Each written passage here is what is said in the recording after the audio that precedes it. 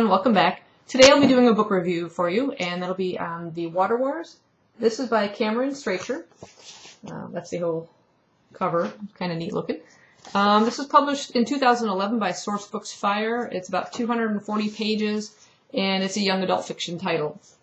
Um, I was first attracted to it kind of by the cover, and then by the synopsis on the back, so it kind of drew me in.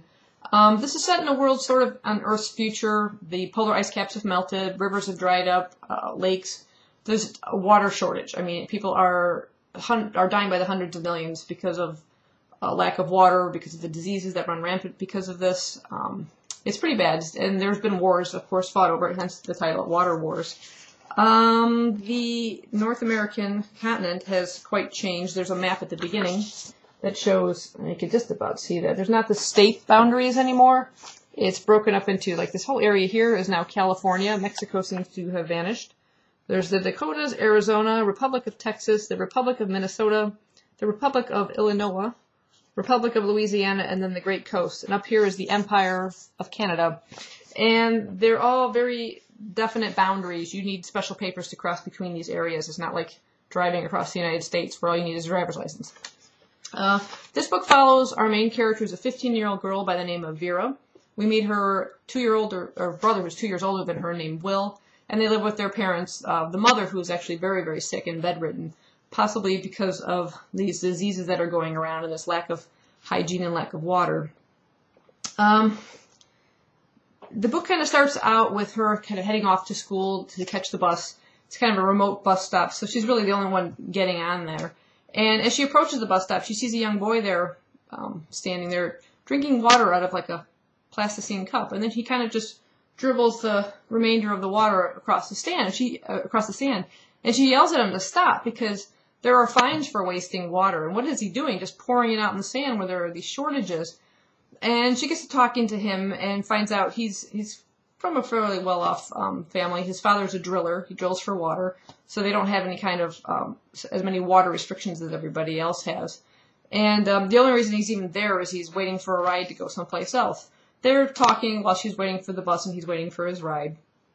And um, during this meet, he says uh, he's planning on going to a scavenger site. Does she want to come? So, well, she's got school, maybe afterwards. But then her thoughts, you hear, um, she says, I said I would try, but I knew my father wouldn't let me. He didn't want me going anywhere after school. Not with this boy, not with any boy. It was dangerous to hang around strangers. Just last year, there had been a virus and three kids in our class had died. So there's these worries of viruses and things going around. But literally, as you read, like, it's either that night or the next night, she invites him to dinner at her family's house. And I'm thinking, you've just met this person. You really had one conversation with them. And you say your father's worried about diseases. Now you're inviting him into your home to possibly expose any any of the rest of the family to viruses. So there was a lot of these weird kind of inconsistencies within this book as I was reading it. That uh, right off the bat, I'm thinking that makes no sense. You just said one thing, and now you're doing completely the opposite.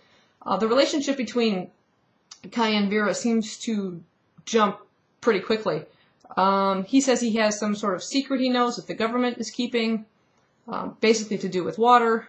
He knows of some sort of secret river or something, but he's not willing to say much to her or to her brother Will. Um, they spend a little bit of time within the next weeks or so just hanging out, and the the two um, Will and Vera are trying to find some more information out from him. But again, he doesn't say much. He does take Vera one time to a site like off, off to scavenge someplace, and he says, "Dig here with your hands." And she digs a little bit. He says, "Keep digging," and eventually her hands come up moist there was like he found a little area of water. Said, "How do you know it was there?" He said, "I just knew."